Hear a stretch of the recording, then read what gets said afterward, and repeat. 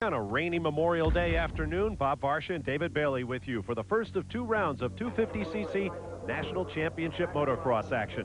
There's the phenomenon of the sport thus far. Four-time Supercross champion and reigning 250 outdoor titleist Jeremy McGrath going for his seventh and eighth straight moto victories and fourth straight overall here today. There's a look at Phil Lawrence. He's looking behind him. You can see a dozer working on the track back there. They're trying to smooth out some of those ruts, I think. And then you can see the rain coming down now, Bob, so the track's going to be getting a lot slicker. It's still pretty hard packed. It won't get real muddy, but it will get slicker as the day continues. I think it's muddier now than ever as the rain continues to fall. In fact, it's probably falling harder than it has all day. LaRocco's not had the season he would like to have had. The switch to Suzuki, uh, we've already pointed out before that he came into the season uh, off serious knee surgery and starting to get it back together. He hasn't had good starts in the outdoors so far, but he's been going fast. So I would look for him to get uh, decent starts here today and really be a factor. Mike LaRocco injured, did not ride this race a year ago, so the track will in many ways be a bit unfamiliar to him. That's a good look at Brian Swink and how technical this sport has become. That's a carbon fiber helmet, $700 worth. Here's a look at our standings coming into this race. Jeremy McGrath, perfect so far this year, 150 points. We're getting used to seeing that with the Showtime phenomenon. Jeff Emig at second place is the man who stopped McGrath's winning streak in Supercross at 13 straight events.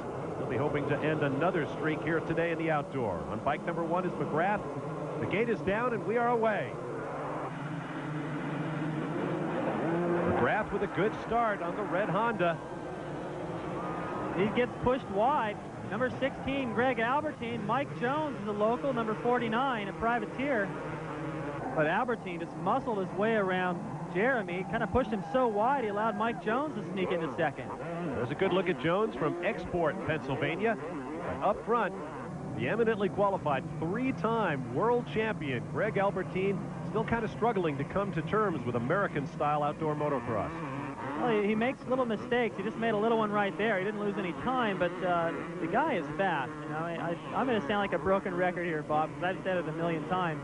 He's fast enough to win, but he can't keep it upright. So uh, today is another opportunity for him with a great start to see if he can lead it to the final lap of this race and hold off McGrath. Tough for anybody to be compared to McGrath these days, but Albertyn has had two second-place moto finishes behind Showtime this year. Right now, he's drawing away from Jones, McGrath, and the rest of the field. The track's still in pretty good shape right now. Although that rain's falling, they've done a good job of uh, with the layout. The rain can't sit anywhere on the racetrack. There's so many hills. The rain uh, runs off and stays in pretty good shape. There's a few shiny spots out there where it's slick. If you avoid those, you'll be all right. There you see that McGrath has moved into second place. Davey Coombs is standing by with Skip Norfolk, his mechanic. Here we go again. Abby gets the lead from Jeremy right off the start and takes off. Same script? Well, I don't know. I think, um, you know, he's trying to feel anything out. It's raining a little bit. It's hard pack underneath. It's kind of slimy. As long as nobody's coming from behind to pressure him, I think he just may stay there and feel things out for a couple laps just to just to kind of see what it's going to do. And it's kind of hard to say. I mean, if the sky's open, it's going to change everything, and if it dries out, then we're just going to have great racing. But it, it's real early in the race, and it's kind of early, and we know what happened a couple weeks ago, and just got to hope for the best.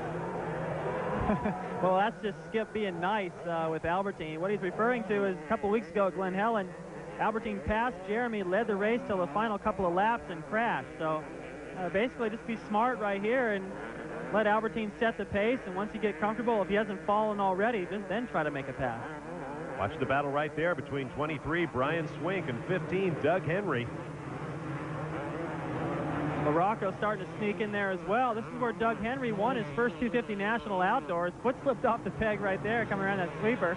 That's the outside peg where you want to apply that pressure. It didn't matter, though. He still passed everybody. 49, Michael Jones hanging in there about to be swamped by the factory hot shoes.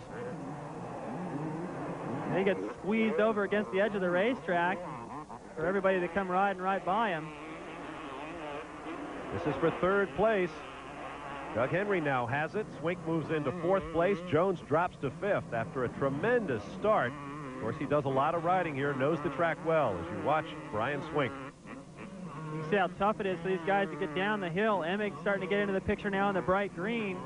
so hard to make that inside at the bottom, and on the 250, you can still take the inside and get over that double. Look at Mike LaRocco on number eight coming up the inside, powering past Jones, now attacking Swink. LaRocco is on the move, looking for his first overall of the year.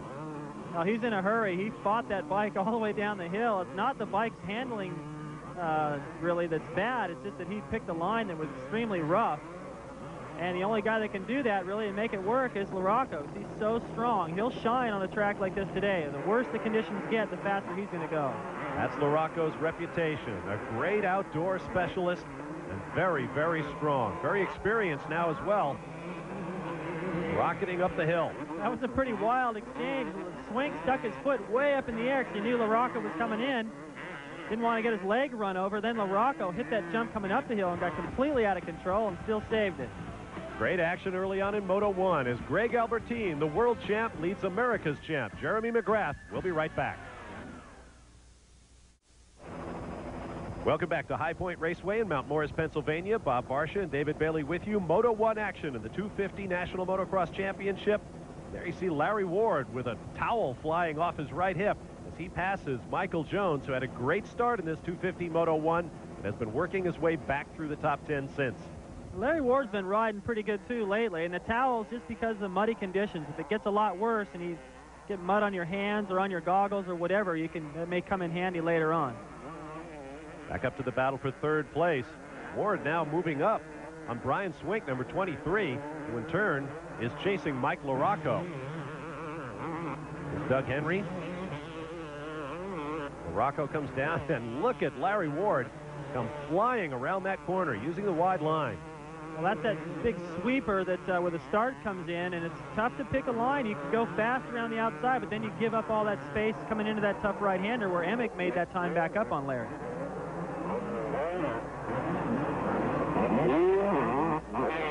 Ward and Swink behind them. Jeff Emig, whom you just saw on that bright green Kawasaki, charging down the hill. Now Swink goes wide. Emig will close up a few bike lengths on him. Swink went way wide, looking for some dry dirt to get some traction on, and that's such an off-camber corner. You, I mean, you can go like 40 feet longer distance, but if you find some place where you can get down there and be aggressive, uh, you can make all that time back up. It didn't pay off for Swink. He almost got passed by Emig.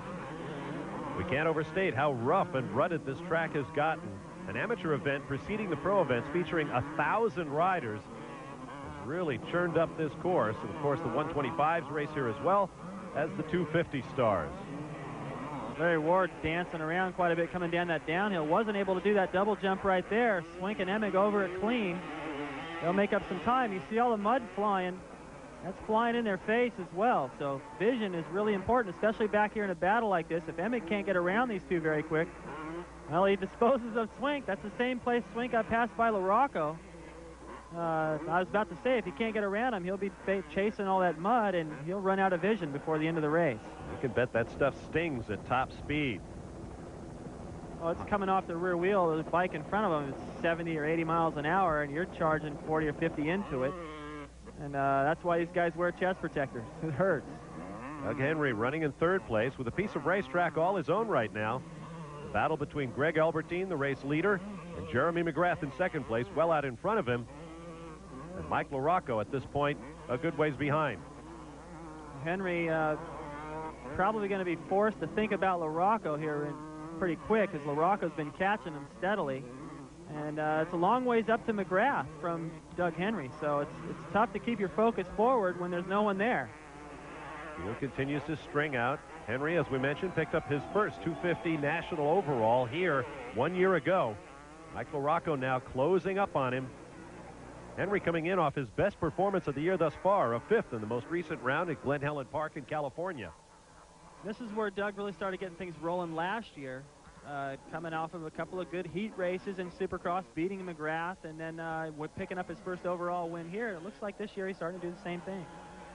Heading down into the woods, LaRocco pulls up behind Henry. Can he get him? Well, briefly he had a shot at him, and then he powers by. So Mike LaRocco moves up into third spot. Down in the mechanics area, his engine tuner and father is with Davey.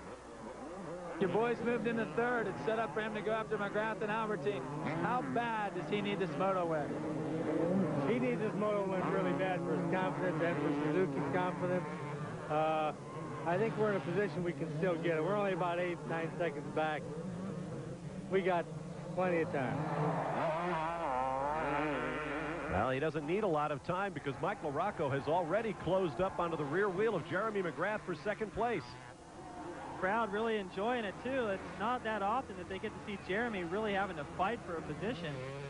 And uh, he's in a Suzuki sandwich right now. Albertyn out front, LaRocco coming up from behind. And as Mike's dad pointed out, Mike doesn't only need this win for his own confidence, but for the team. If, if Team Suzuki can pull off uh, an upset here, I guess you could call it, by going 1-2, uh, really boost the whole team and uh, prove to everyone that the bike is capable of winning. And uh, that, that does a lot for the rider's confidence. No question about it. Honda has been at the top of the heap for a long time. Same for McGrath. Right now, Mike LaRocco is after him. It's Albertyn, McGrath, and LaRocco. We've got more action coming up. Stand by for more from Mount Morris, Pennsylvania.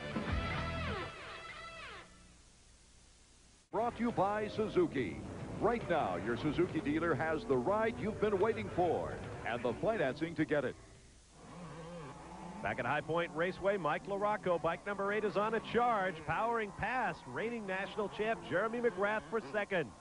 Look at Jeremy. He just kind of had to cruise into the corner. He knew he had been passed. Nothing much we could do to counter that. Now he's just got to stick with LaRocco, caught him quick, and see if he can figure out where he's going faster and maybe get him back. There's still time enough. Meanwhile, everybody chasing Greg Albertyn up front. Listen to the cheers go up for Mike LaRocco. Crowd really getting into this. I pointed out already, it's not often they see a challenge. It's even less often than that that you see Jeremy get passed. Uh, and LaRocco caught him quick, and look, he's already starting to pull away a little bit. So, crowd seeing something fairly unusual today. During the Supercross season just passed, even if Jeremy McGrath was challenged, that made news. He won moto after moto, overall after overall, 13 straight before being beaten by Jeff Emig at St. Louis. He went on to claim his fourth straight Supercross championship, something no other rider has ever done. Last year he proved himself. It was always said that he was a great Supercross rider, but lacked something in the National Motocross 250s. So he came out and won that national championship. Right now, Jeremy McGrath finds himself in third place here at Mount Morris, and without any disrespect at all, the crowd is loving it. And Jeremy's not hooking up as good as LaRocco. I think it's a little bit to do with lines. LaRocco over that triple clean, back on the gas, and you notice Mike's using that loam. He's, he's not in that hard slick stuff where Jeremy is. Jeremy's trying to to uh, use a little bit too much finesse out there on that hard slick stuff, and he's just not getting hooked up coming out of the corners. In the back section, uh, before they came up around to the finish line, I noticed that Jeremy came out of two of those corners and just left a big skid mark on the ground. So he's just getting wheel spin everywhere, and, and uh, now Doug Henry's starting to catch up. Absolutely. Henry, the former Honda rider, now with Yamaha, closing up for third place behind McGrath. Going to give the crowd something to cheer about again. Uh, just when the battle was starting to uh, shape up between Jeremy and LaRocco, LaRocco finished it. Looked like it was going to be over, but now Henry seems to uh, have a lot faster pace right now than Jeremy, so. Well, what an athletic exercise, watching these guys soak up the bumps with their legs and their backs and their arms. Doug Henry's mechanic reminding him about speed in the corners. Right, that's what I was just kind of pointing out with Jeremy. That's where he's losing his time, and uh, if Doug can keep his speed up through the corners, that's probably where he'll be able to make a pass or, or just on the exit, carrying more speed. Making up huge ground on those jumps as well, and you notice the green Kawasaki of Jeff Emig coming up behind. But right now, Jeremy McGrath has all he can handle with Doug Henry. And Henry is around for third place, dropping the reigning champ to fourth. Whatever his mechanic, Pete Steinbrecher told Doug Henry it certainly worked. Let's see if Davey Coombs can learn more about Henry's situation. Pete, we see a huge smile on your face. It's the first time during the comeback, at least outdoors, that Henry's ridden like this, and he just passed McGrath. How do you think Doug's feeling? Well, Doug, I know he's getting tired, but uh, you guys have seen it in the past that uh, Doug never gives up. And uh, if you guys see him get past, I know he's just out of energy, but he's going to put everything he's got into it right now. Well, we can see that by that triple jump move there. That surprised you. He jumped it right next to McGrath. Yeah, I saw him do that in practice, and I guess him and Jeremy are, I think, uh, pretty good buddies, and maybe he knows that Jeremy's, a little, I guess, a little bit straighter over the jumps that wouldn't take him out. Pete Steinbrecher raises an interesting issue. Getting tired, as you see McGrath now coming under fire from Jeff Emig. The top riders have been riding 19 of the last 20 weekends. I mean, racing 19 of the last 20 weekends. They have a two-week break coming up after this event. A lot of these guys might be a little road weary. Well, yeah, it's difficult, too, to stay in, top peak condition uh, because today you're looking at a situation where it's raining and kind of cold. and between motos, you catch a chill. Then the next weekend, or the last national, for instance, was in the hundreds. So it's very difficult to maintain a uh, peak physical level throughout the season.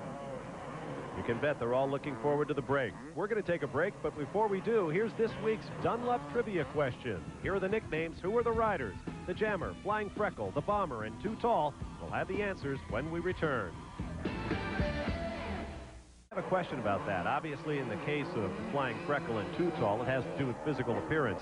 How did Jim Weinert become known as the Jammer and Mark Barnett as the Bomber? Well, I think for Barnett, it was just like dropping a bomb on the com competition. In the early 80s, he won just about every moto in the 125 National Championship, just destroyed them.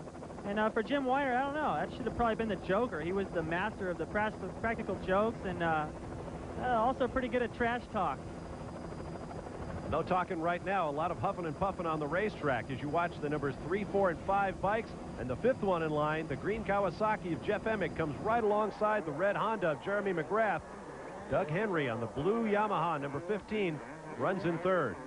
There's ruts in the faces of all those jumps coming down the straightaway, and it looked like Emig had a run on Jeremy, and then uh, got stuck in the ruts. There he comes again. And Emig gets by, however briefly. Now looks like he's knocked it down. Fourth place for Emig, dropping the national champ back to fifth. Oh, I can't remember the last time, if there even was a time when Jeremy dropped this many positions. Uh, something's just not quite right with his bike setup, or he just isn't getting uh, the proper lines. He, something's not coming together for Jeremy. Very, very odd you would see him drop that many positions, or even that easily, really. It's usually a fight, but uh, once Emig positioned himself to the inside. He just reached up, pulled the tearaway as if to say, well, you got me. I'll just come back to the second moto and kick your butt. See Emig sticking to the rider's left side of the track. McGrath way over on the rider's right. Scrambling for grip, trying to get a smoother ride, pick up some speed. McGrath just does not look quick, particularly through that part. Nope, and uh, he reached up once again to try to clear his vision, so vision could be a problem for him, and we just don't know it. Emig looking good. Earlier this season, we asked him about his memories of Mount Morris. Here's what he told us. My histories at Mount Morris, you know, in the past races I've had, you know, anywhere from a mediocre to winning both motos to knocking myself out and not even finishing. And that was the year that I won my 135 national championship. You know, so I've had really great races and I've had some really bad races there. But um, I think that this is one of those years when I'm, you know, when I'm back on the upswing. So, uh, you know, so hopefully I'll be able to, you know, you know pull off uh, some moto wins and gain some points back, you know, towards that uh, 250 national uh, championship. Well, Jeff Emig doing exactly that. He came into this weekend second in points behind Jeremy McGrath, and he is marching his way through the order. He is now up to third place behind the Suzuki teammates Greg Albertyn and Mike LaRocco. I think there's probably not enough time for him to go up and catch those two guys out front, but it is important for him to stay as far ahead of Jeremy as he can and put as many riders between himself and Jeremy to pick up all the points he can pick up. Uh, that's going to be in addition to the confidence booster it's got to be for him to move around Jeremy. That's LaRocco's mom.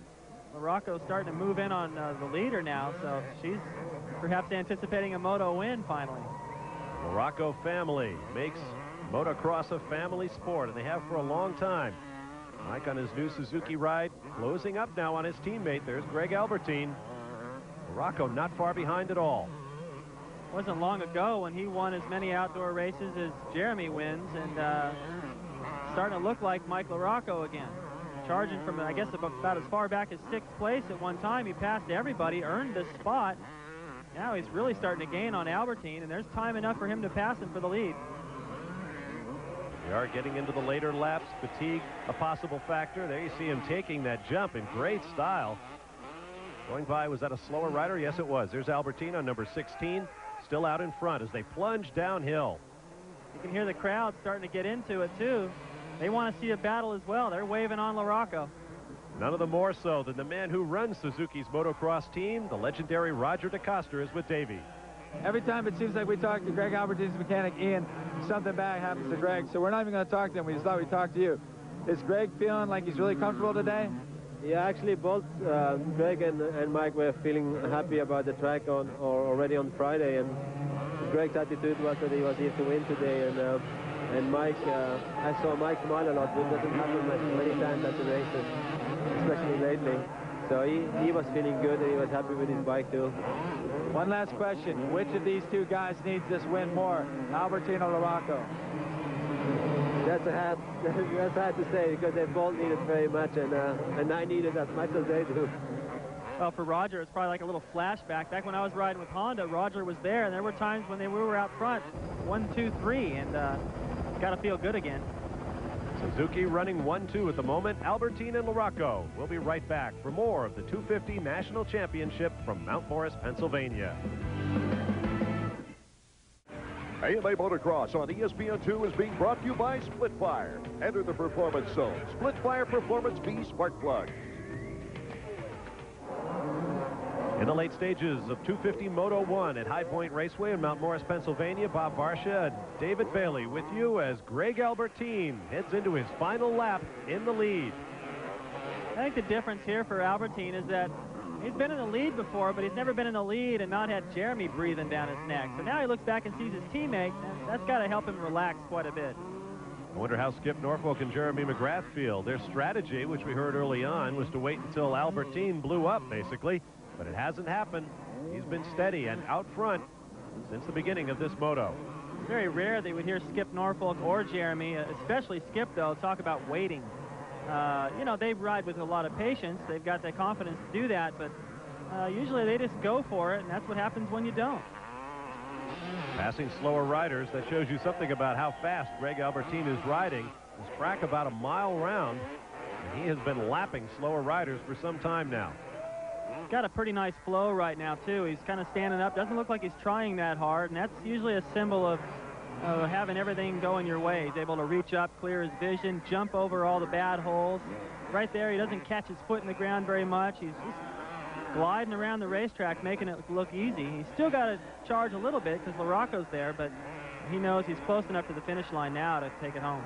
A little bit of a fist pump there for the huge crowd gathered here at High Point Raceway. More than 20,000 motocross fans watching their heroes in action in some decidedly compromising conditions. Rain continues to fall. Albertyn up out of the saddle, taking those jumps in style. Greg Albertyn from South Africa picks up the Moto 1 victory here at Mount Morris.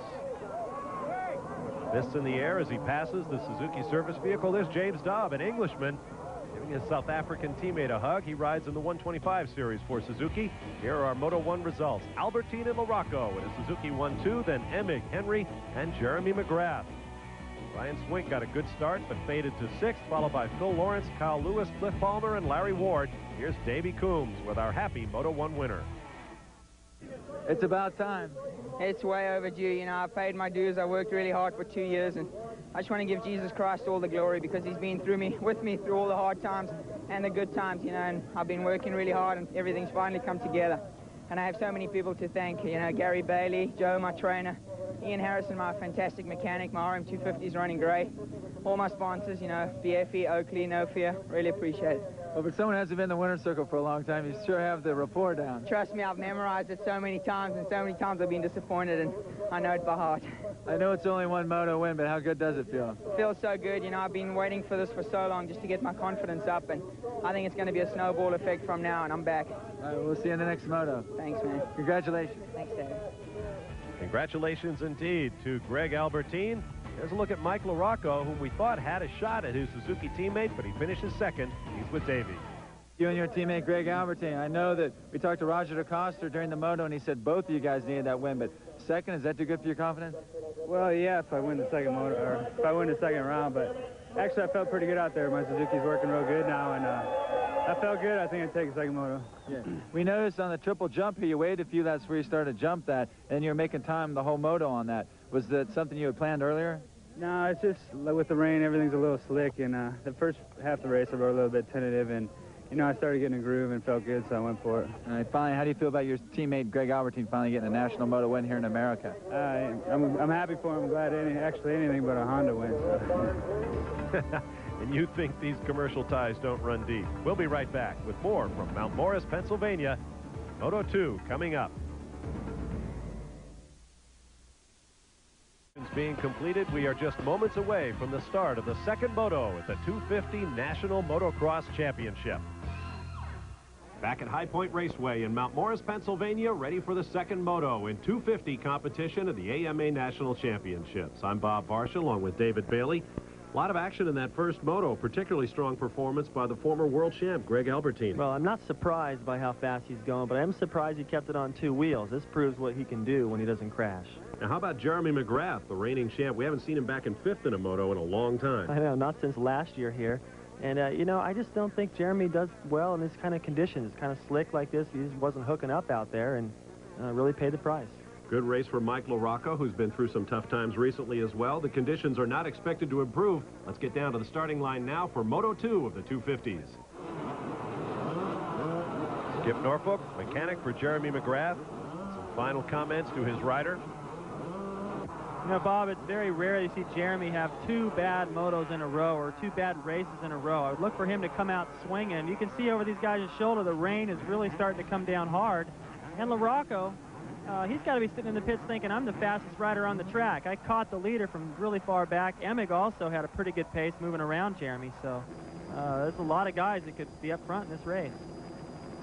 But to get up front, they'll have to get a good start. In these conditions, don't want to wait, as Jeremy McGrath found out in Moto 1. The gate is down. We are away. Doug Henry on number 15. The field funneling into turn number one. Jeremy McGrath with a great start. There you see him on the red number one bike, and he's got all of the early leaders from Moto 1 right there with him. All the contenders have gotten great starts. Emig looked like he had the whole shot, and Jeremy rode right around the outside of him. Now here comes Emig. Riding that back wheel, number two. Jeff Emig takes the lead. Doug Henry right there. He too goes around Jeremy McGrath, who bobbled coming down the hill, and Mike LaRocco on the wide line looking for a way past as well. Also, it looked like Albertyn hugged that inside, may have slipped into the four spots. The two Suzuki teammates, first and second in the first moto, are right there within striking distance of the lead. In the 125 event that preceded this 250 national championship race, Kevin Windham rode consistently through two motos and picked up the overall. No one from the top five able to repeat in the second moto. Right now, all of our Moto 1 top finishers in the 250 class are right there behind race leader Jeff Emig. Doug Henry can just smell an overall win. This is where he got his first one last year. Right now, he's looking at the lead. If he can pick it up, depending on how these guys finish behind him, he could mathematically win the overall. And look at Jeremy McGrath back in fifth place once again.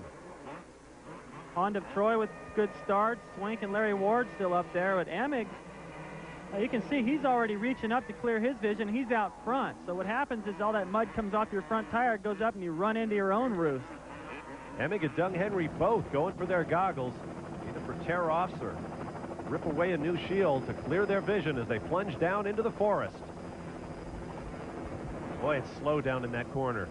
Well, it's extremely technical section on the racetrack. It's, there's a lot of roots from those trees, and when they get wet, it's just like trying to ride over slippery pipes. You don't get any traction, and Henry got a little sideways, held up everybody. Emig consolidating his lead. It's an exciting racetrack the way the layout is because the spectators are all up in the middle and all the riders disappear for a moment as they go into the back section and really lends to the anticipation as they reappear. There's Mike LaRocco charging back to the front. Our Honda field summary has only one Honda on it. Jeremy McGrath in fifth place. Jeff Emig leads. We'll be back to Mount Morris.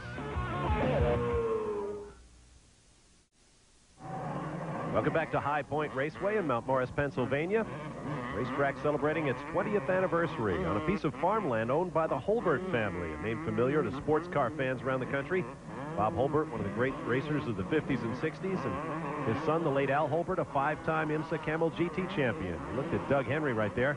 But this skirmish between Mike LaRocco and his Suzuki teammate Greg Albertyn, first and second place finishers in the first moto, and no quarter given.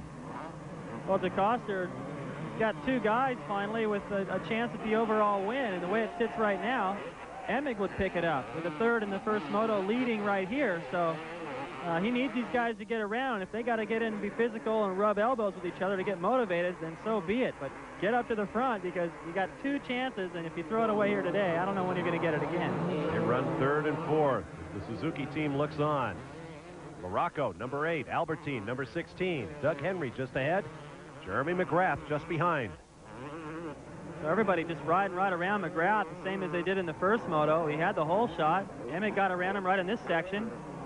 And then Doug Henry, and now the Suzuki guy's really starting to pour it on. Rocco goes by Henry for second. Can Henry respond? Oh, and Albertyn is down. Looks like Albertyn tried to go for both those guys on the inside, paid the price. We'll see just to the very, very right of the screen.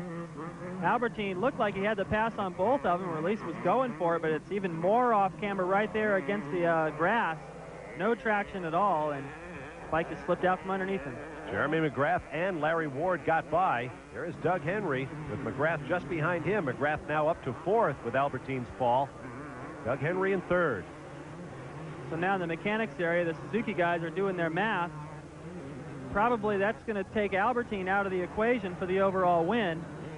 So now if they can just keep Mike LaRocco on the gas and charging after Emig, not let these guys around, then Suzuki could win here today. McGrath looked up the inside, couldn't get it done, dives behind Henry, then goes up the inside in this corner and takes away third place. So McGrath on a charge. When we talked with him earlier this season about coming to Mount Morris, he put it all in perspective.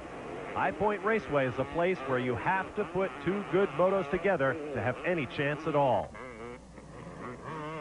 Mount Morris, for me, has had its ups and downs. Uh, I've won motos there, and I've crashed motos there, and I actually broke my leg there in 91.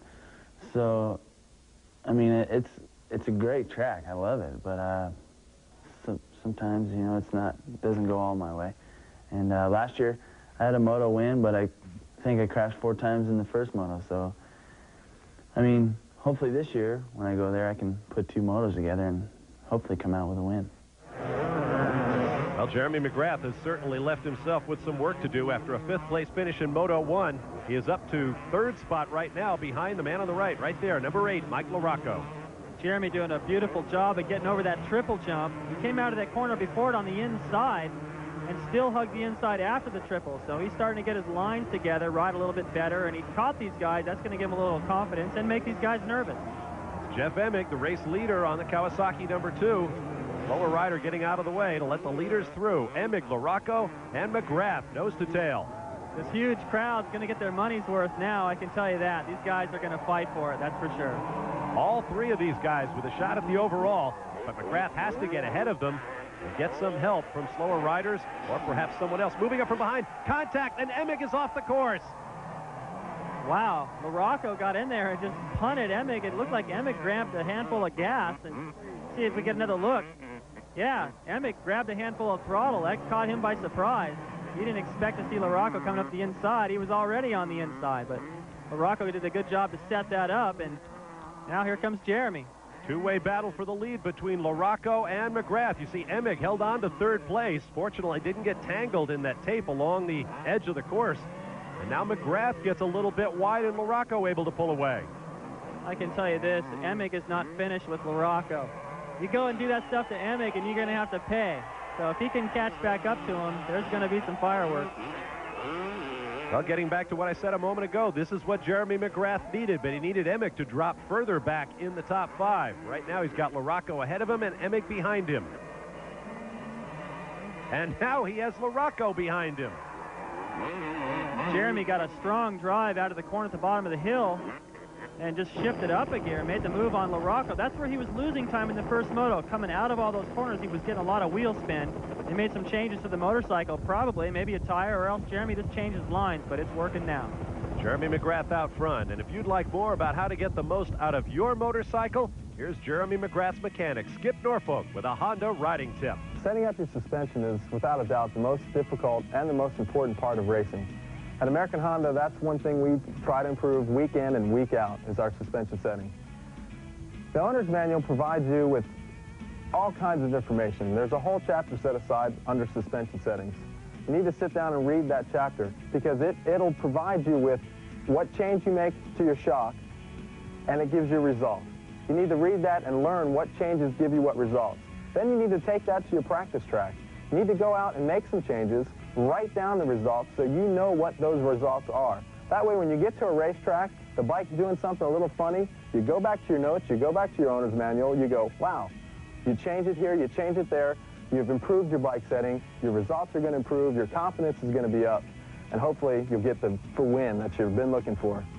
For Honda 1-800-COLLECT-FOX Racing, I'm Skip Norfolk. All right, thank you, Skip. On the racetrack, his man Jeremy McGrath leads. There's Mike LaRocco, who bumped his way past then race leader Jeff Emig before being passed by McGrath. But Jeremy still needs help. If LaRocco stays where he is, he has the advantage for the overall. The way it looks for Jeremy right now, though, isn't too bad. Winning the second moto, kind of put an exclamation on things. If he can hang on to it, he wouldn't lose that many points to Emig, his nearest competitor for the title. But uh, LaRocco really made things easier for him, though, when he got Emig out of the way. Now Jeremy doesn't have to pass him. Kind of ironic that Mike LaRocco, who was not the best friend of either Jeremy McGrath or Honda, may be helping Jeremy McGrath consolidate his lead in the points. He runs second to McGrath with Emig third. We'll be back to Pennsylvania. In our Suzuki flashback, we'll jump in our time machine and take you back to 1988, right here at Mount Morris. A couple of riders getting stuck in the starting gate, but it was Fred Andrews, number 18, the privateer Suzuki, who grabbed the early lead, followed by Rick Johnson. And Rick was on the charge, wearing all white to beat the heat. He would square off Fred Andrews and take over the lead, and that's where he would stay for most of the day. Kawasaki's number four, Ron Lechien, would trade motos with his teammate Jeff Ward, but it was Ron Lechien getting the edge in the second moto, picking up second overall. Jeff Ward with his homemade Bennett jersey, pick up third overall, but he'd go on to win the title. Rick Johnson won the overall here at Mount Morris, but a DNF during the 88 season cost him the title. He didn't win the war, but he won the battle. Right here he shares the podium with the 125 race winner, Guy Cooper. All a part of the 20-year history of AMA National Motocross Racing here, High Point Raceway, Mount Morris, Pennsylvania. Doug Henry on his Yamaha battles the yellow Suzuki of Greg Albertyn.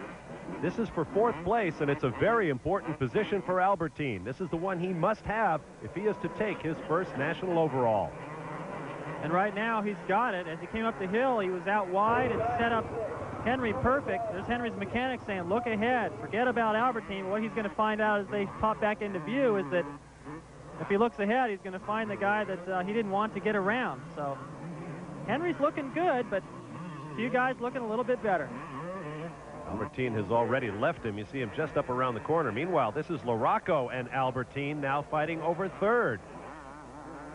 And Albertyn, very quick in that corner, getting the front wheel up in the air. Sharp left-hander as he consolidates third place from his teammate LaRocco. He almost gave it back by dropping out wide there again, but got in a little battle to see who was going to let off first, and it was LaRocco who had to. You can bet Suzuki team manager Roger DeCoster is watching this battle with some interest. Definitely, and this is the part that scares me about Albertyn. As he came into that corner just back to that right-hander, his front end washed out, and then he made a little bobble there. He's already in an overall position. Now he's in a knockdown, drag-out battle with his teammate, uh, and it's unnecessary. This is where he usually makes mistakes and goes down. He's already in overall position, so just take it easy.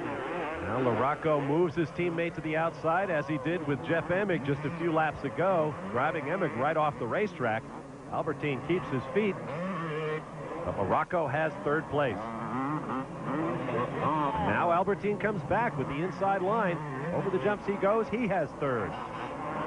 So that looked a little bit more mellow to me. I mean, I would go for that pass, but the ones before it, it seemed like he was taking too big of a chance. And, uh, you know, anytime you're sitting in an overall position and you're trying to build confidence, you just want to make good decisions out there. You can bet our Rogers keeping his fingers crossed, going, don't make any bad moves. Don't do anything stupid. We're finally going to win one. Don't throw it away. Look at the gap that Albertyn has now opened up over LaRocco. A little sideways right there. It, it's funny to watch Albertyn. He'll do a lot of things good, and then, oh, Oh, he comes right off the saddle. Lost the grip with his left hand and was just pitched off the back of the bike in a rush. Oh, I was just about to say, you'll, you'll watch him and you'll think everything's looking pretty good, and all of a sudden, uh, he's out of shape. His left foot slipped off the foot peg. That's the foot, that's like the downhill ski. You want to weight that peg. Once it slipped off, he was totally out of shape. Watches another look at it. Gets into the berm, everything's looking good. He grabs a handful of throttle way too soon. And the bike just squirted right out from underneath him. There was no way he could hang on to that once he lost that left leg. That's the leg you use to grip the side of the bike, hold your body up with the bike. He just gassed it too soon. Handlebar took a wrenching on the right front. And of course is the brake. Jeff Emig in second place behind Jeremy McGrath.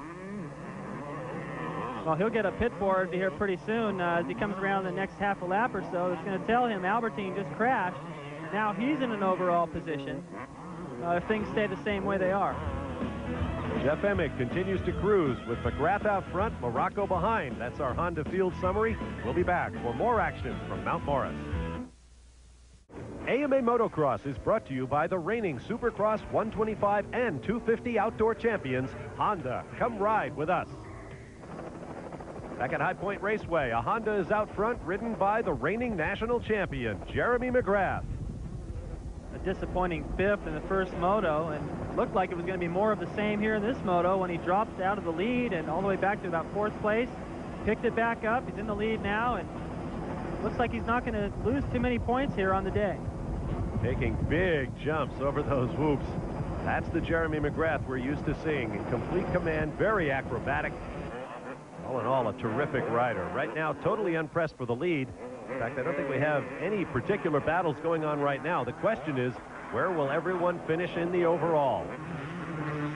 Well, he's just got to keep his fingers crossed that the, the, cards fall in the right places and he can pick up the overall win. That'd be uh, just about impossible with LaRocco and Emig where they are. Uh, it could, it's, it's just about a three-way tie for the lead, but if things stay the way they are, it looks like Emig may pick it up.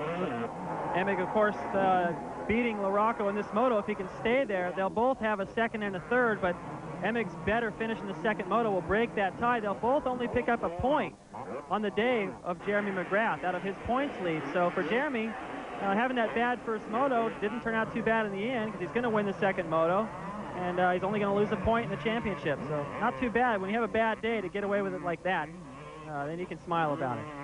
But he will see his streak of consecutive motos and consecutive overalls broken at six and three, respectively. And interestingly, Jeff Emig is the man who ended his Supercross streak after 13 consecutive overalls. So Emig definitely a problem for Jeremy McGrath. Henry really starting to work on LaRocco now. Real impressed. I'm inspired by what I see from Henry because it looks like uh, in this title, he could become a factor. If he starts riding well like this, we've seen him go fast and win. The only thing that frightens me is Budds Creek is the next round. And that's where uh, his problems began with that back injury. So if he can get through that one safe, it could be a good year for Doug in the outdoors.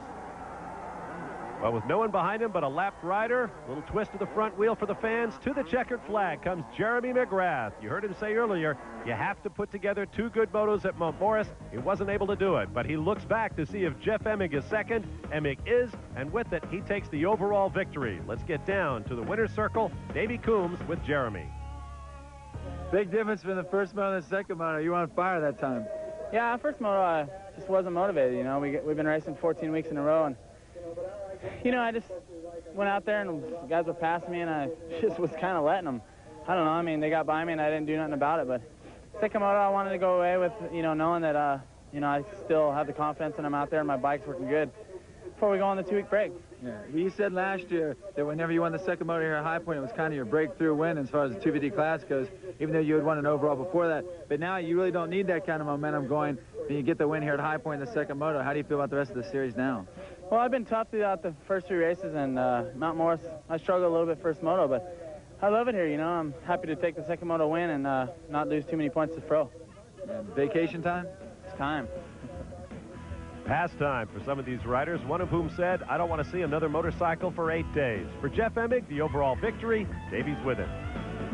You were right after the first moto. It's always lopsided here at High Point. Yeah, that it is. Uh, you know, me and McGrath and, and uh, LaRocco had a good, you know, real good race. As people you can see, you know, LaRocco gave me a little love tap there, and, uh, you know, but that was kind of like a wake-up call, and I, I know that I rode a lot harder after after they passed me. I was riding a little bit of conservative, you know, at first, and, uh, and uh, you know, I got to see uh, some of their lines that they were taking that were, you know, that were definitely faster than what I uh, was taking at the beginning. High Point's really the kickoff for the rest of the summer and the rest of the Outdoor National Series. You've got eight races to go, or maybe nine.